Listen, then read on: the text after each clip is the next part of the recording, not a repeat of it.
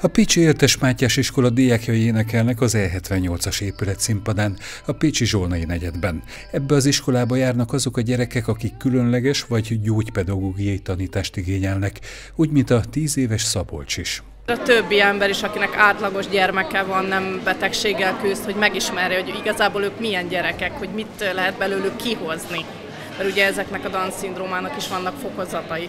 Ugye van gyengébb, van közepes és van erősebb. Ugye ő középsúlyosnak nyilvánítják, de, de én, mint szülő, én teljesen más, másképp látom, mint hogy középfokú, inkább gyengébb.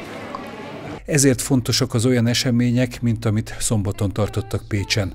Bár a Dankor világnapját március 21-én tartják, ők is eljöttek, hogy február 26-án a ritka betegségek világnapján együtt legyenek az érintettekkel.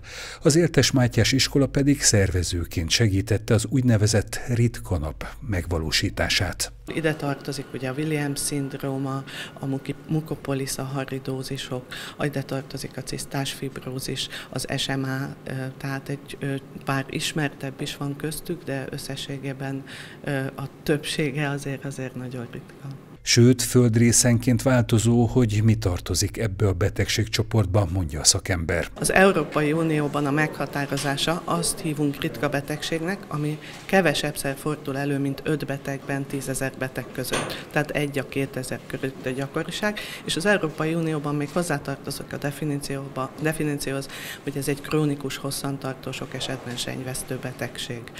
Körülbelül jelen pillanatban 5-7 ezer ritka betegséget ismerünk. Vannak adatok, amik azt mutatják, hogy ennél sokkal több, akár tízezer is lehet. Mint egy 80 százalékuk genetikai hátterű. Azért kezelik közös csoportban őket, mert hasonló kihívást jelentenek oktatási és szociális területen.